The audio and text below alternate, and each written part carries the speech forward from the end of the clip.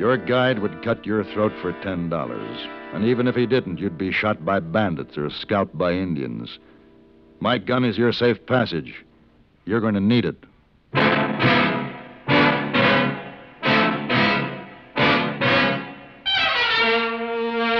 Have Gun Will Travel. Starring Mr. John Dehner as Paladin.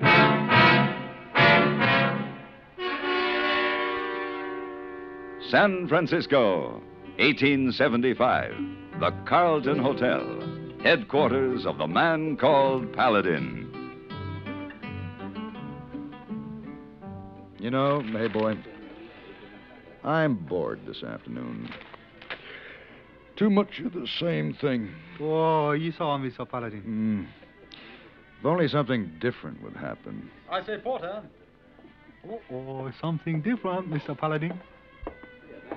Uh, which is the way to Fleetown, Montana? Fleetown? Uh, yes. Perhaps I might help. My name is Paladin. Oh, why, thank you, sir. I'm James Brunswick. Hey, boy, bring Mr. Brunswick some brandy. No, no, you're very kind, but I, I can't tarry. You see, my, my father, the 8th Earl of Aylesbury, invested money in this ranch in Montana, and now that my brother's dead, his share was left to me. And you're going there to take possession? Precisely, yes. My Uh-huh. interest is half. The rest is owned by a fifth cousin, a Miss Felicia Carson. Yet I must make arrangements to get there quickly. A, a lone woman attempting to run a large ranch. Well, you understand. Yes, of course. I imagine she'll be pleased to have a man's help. Oh, quite. Yes. Well, I'll, I'll hop a train and I'll just pop in on her in a day or two. Three weeks will be closer to the truth. Oh? The train will drop you about 200 miles from Fleet Town. From there on, it's horseback over the mountains. Oh. Well, then in that case, I might do a bit of hunting. I shall hire a guide. And he'll cut your throat for your money. Good gracious. No, you couldn't do it alone. You'd get lost, shot by bandits, or scalped. Well, it's rather awkward. uh, what's the solution? This. Have gun will travel. Oh, I say. Uh, I mean, the gun, I mean, is it necessary? Not always. Sometimes it's mighty useful.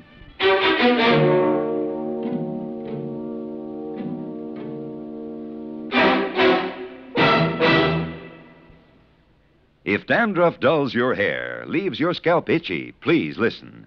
You can get rid of annoying dandruff so fast today, no one should suffer any longer. With Fitch Dandruff Remover Shampoo, unsightly dandruff's gone in three minutes. It's the quickest, easiest of all leading shampoos. Besides that, using Fitch regularly is guaranteed to keep embarrassing dandruff away. Simply apply in the unique Fitch manner. Before you wet hair, rub in one minute. This way, Fitch shampoo penetrates right down to the scalp. Next, add water. Lather one minute to wash every trace of dandruff out of your hair. Then rinse one minute. All that loosened dandruff goes down the drain.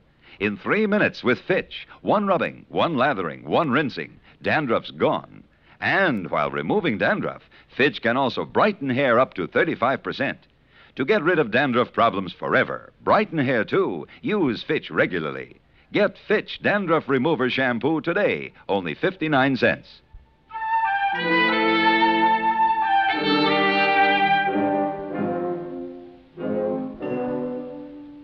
James Brunswick, ninth Earl of Aylesbury, endured the three week ride over the mountains with the help of an English saddle, a sun helmet, and two pack horses carrying his trunks and carpet bags. He marveled at the size, the coldness, the expanse, and the beauty of the land. There were some Indians lounging around the general store when we rode into Fleetown. They stared at him fascinated. He stared back, fascinated. We dismounted and walked up the steps. This is Fleetown, mister. You looking for someone special? Uh, yes, uh, Miss Felicia Carson. Perhaps you can direct us to the King's Arms Ranch, sir? I'll be danged. Miss Carson? What is it, Waddy? Ma'am, I think your cousin from England just got here.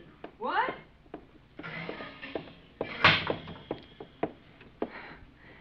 You, you James Brunswick? Yes, that's right. Oh.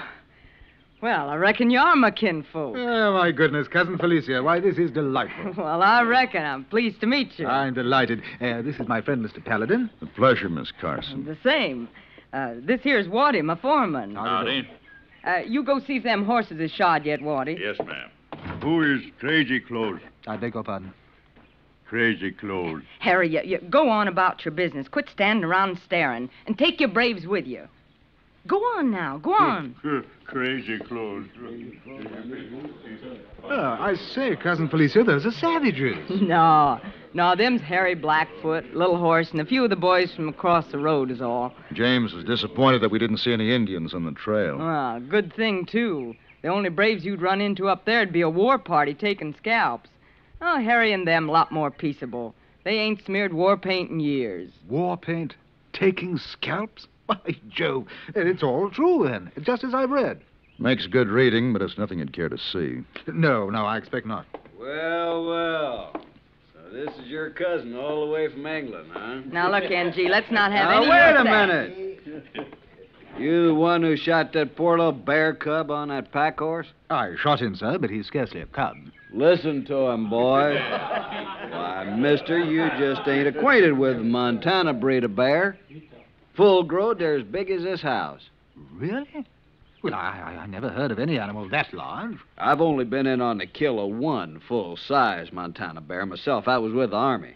Took a 10-pound shot to bring him down. How extraordinary. And you know what we found when we peeled the hide off him? No, what?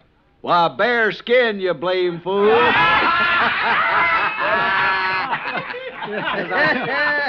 I, I, I must say the joke is on me, what? It sure is. What a dude. Hmm? Come on, let's get up. You you tripped me.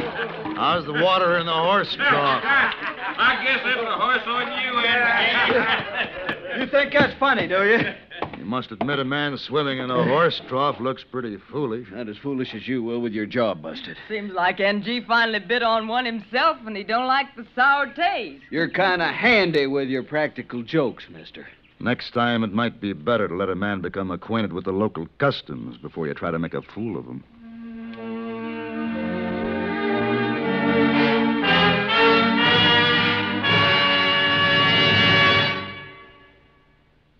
In the 1800s, the Monroe Doctrine dictated that Americans put a wall between themselves and the world. Today, however, times have changed. From city dweller to farmer, Americans know they are part of the world and close to it. And the more they can find out about it, the better. That's why the broadcasts of Edward R. Murrow and Lowell Thomas are so popular. Each of these internationally known newsmen has a wide background in the history, the politics, the economics on which current events are built. Whether you're interested in high level affairs of state abroad, economic developments here at home, or the latest advances of science, you'll find them presented clearly and understandably by Murrow and Thomas, with the touch of wit or human interest that has won them listeners everywhere in the world. If you're not already addicted to the news, as CBS Radio presents it nightly, start this week to follow the broadcasts of Edward R. Murrow and Lowell Thomas. They're both heard Monday through Friday on most of these same CBS stations.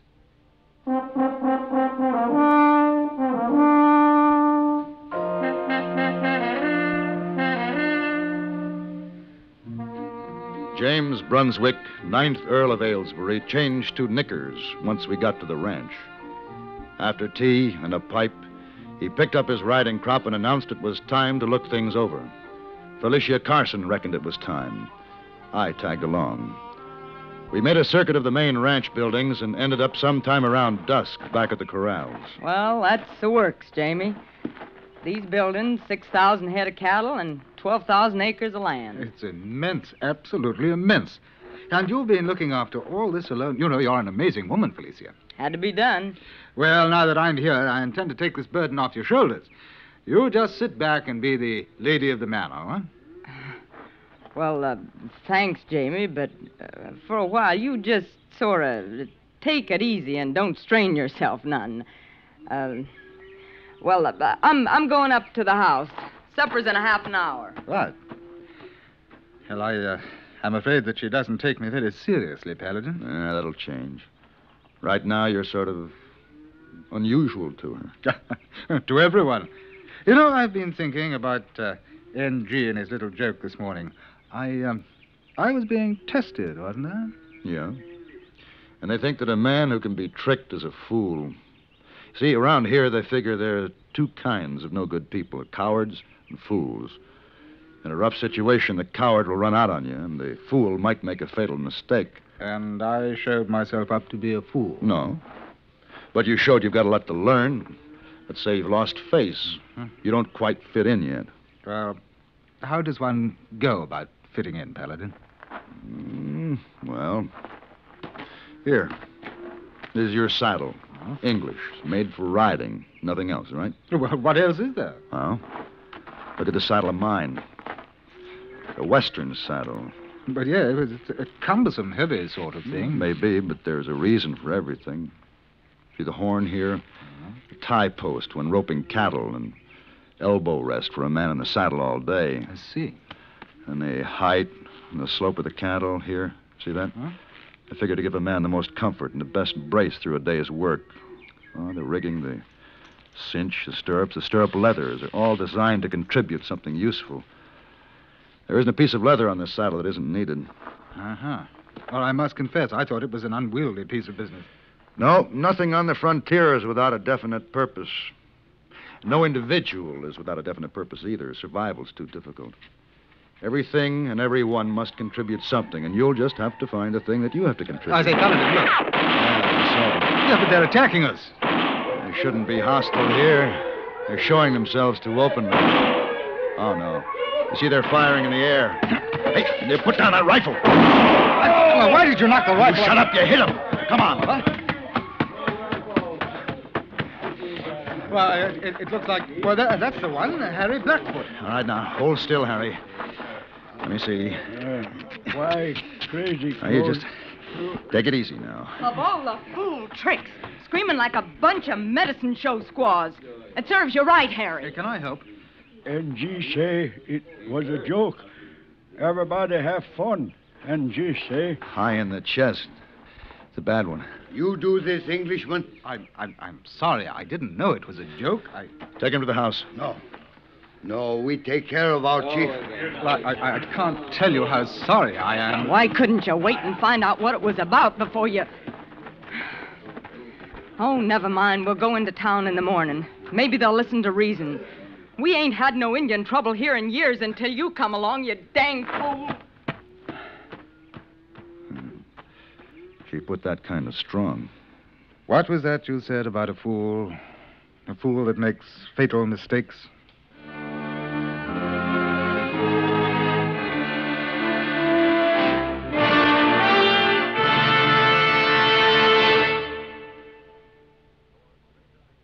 Toward greater victories, the March of Dimes is again asking your help to wipe out the deadly cripplers of thousands of children and adults. Not only polio, but arthritis and birth defects. Did you know that one out of every seven persons in the United States will suffer from arthritis, an exceedingly painful disease for which no cure has yet been found, and that it menaces our youngsters as well as older people? And did you know that one out of every 16 babies born this year will have a birth defect? You have helped the March of Dimes fight polio and emerge the winner in the battle. And now your 1959 contribution to the March of Dimes can help win the battle with these other awful cripplers. We did it before, and with your help, we can do it again.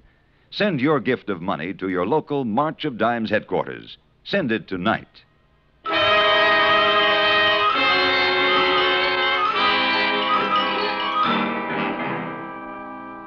There was tension in Fleet Town after Harry Blackfoot was shot. No one knew what the Indians might do about it. They had him holed up in an old barn, feeding him whiskey and working on his wounds. At least that was the news we got. When are you. When are you figuring to leave, Paladin? Tomorrow. Uh, take him back with you for his own good. How long do you think he'd last out here before somebody blows his head off? You could learn if you'd help him. I'm running a ranch, not a school. Oh, it isn't as if I don't like Jamie. Well, then, don't send him away. This ranch would give him a purpose in life. You need him. To shoot Indians? Would it be better if he'd run away and hid? Well, he he should have used his head before he used that rifle. He reacted the way any man would. He was attacked, picked up the rifle, and defended himself. Oh, good morning. I'm sorry to have kept you waiting. Morning. Now, when we get to town, Jamie, you let me do the talking. The Indians are probably cooled down by now. If Harry Blackfoot is all right. NG started this, and it's up to him to stop it. Now, James, I just want you to show up and stand there like you got nothing to be ashamed of. Yes, of course. Oh, uh, I'm sorry. I. Uh, Paladin, I, I'd appreciate it if you would stay here until we clear up this matter, and then uh, I'd like to return to San Francisco with you. That's what you want. Well, I, I believe it would be best for everyone.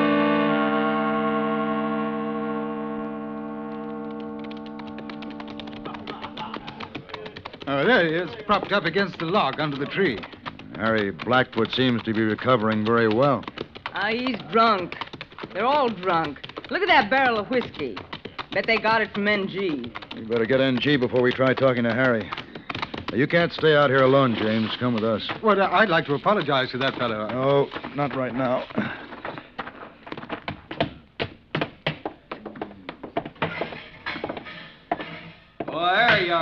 Blasted troublemaker. You got the engines all stewed up, the blame fool way you... Don't you try to squirm out of this, putting all the blame on Jamie. Well, I didn't have anything... NG, you're going out with us now and tell Harry Blackfoot exactly why all this is your fault. My fault. I don't have to explain that to you, NG. Them engines is in no mood to listen to reason now. They'd kill me. If you don't go out there, I'll kill you. Send out crazy clothes. Where's my rifle? You kill any one of them, and word'll spread to every Indian in the section. And every one of them will be wearing paint in 24 hours. You get out there and tell them to stop it. I can't stop them. They want the Englishman. He's right.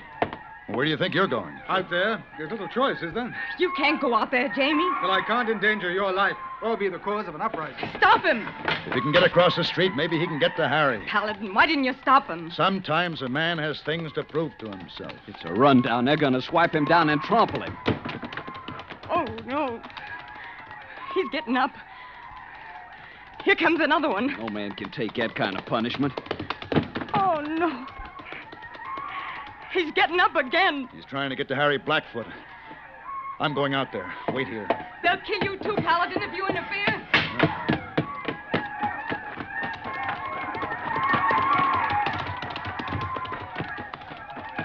Harry. Call him off, Harry. No. Braves teach lesson. We could have shot your braves by now, but that would have made a war. He's had his lesson. He's been hurt enough. Crazy clothes on his feet. Listen to me, Harry. Only a few may wear clothes like that. It is a proud uniform from a far off land. Only brave and honorable men wear that uniform. The, the clothes are the sign of a great and wise leader, a, a man of strength, um, a man like yourself. You see how he behaves? Enough!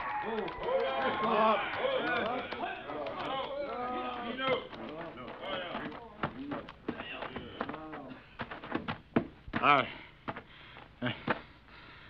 I. I. Feel I owe you an apology, old man. I, I'm really dread, dreadfully sorry, you know. In- Inexcusable. I. You're right. He brave man.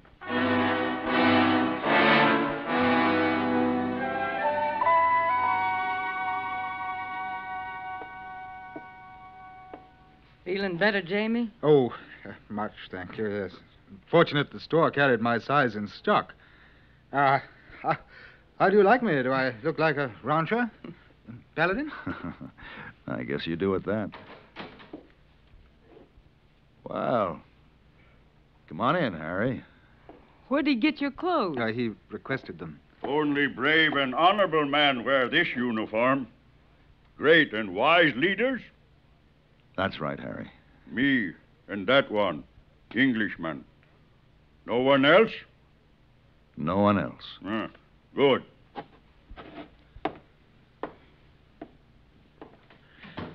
Well, he seems quite happy. Uh, now, Paladin, shall we return to the ranch and pack? Oh, you're not you, you're not going to run out and leave me now, Jamie. You can't do that to me. I I'm just a mere little old woman. That that ranch needs a man. Oh, thank you for the offer, Felicia, but Really, I'm afraid there's so little that I have to contribute out here. Except courage. Oh, come now, Paladin. I mean, one, one doesn't talk about that sort of thing. Mr. Paladin, you're traveling back to San Francisco alone. Well, if, if you insist, I stay. One favor before I leave, James. Oh, yes, of course. I'd like the address of your tailor in London. If I send him my measurements, perhaps he could make me a brave and honorable chief.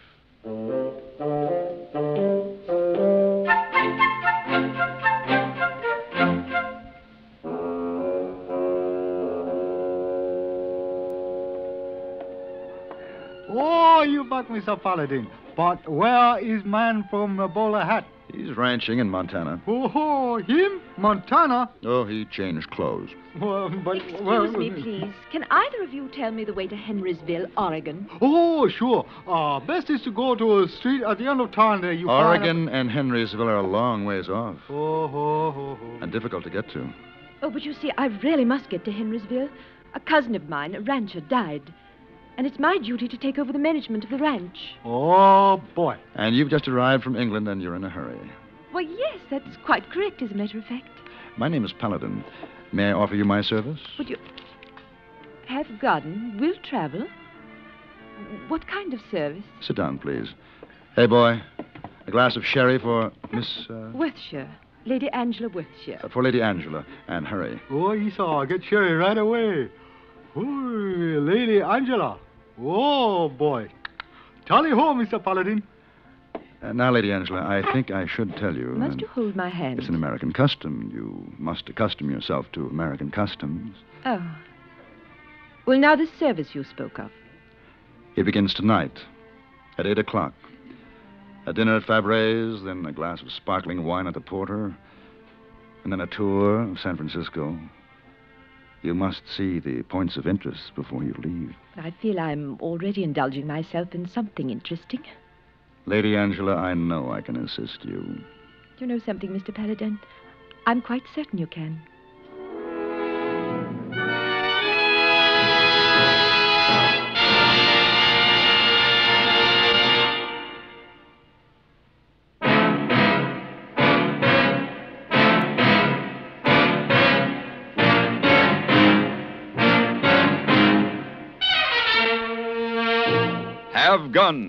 Will Travel. Created by Herb Meadow and Sam Rolfe, he is produced and directed by Norman Macdonnell and stars John Dehner as Paladin with Ben Wright as Hayboy.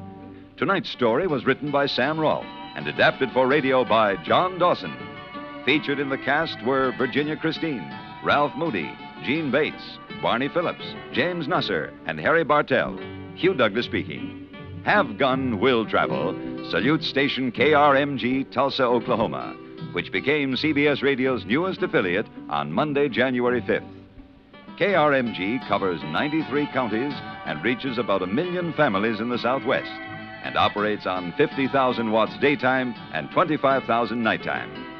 Join us again next week for Have Gun Will Travel.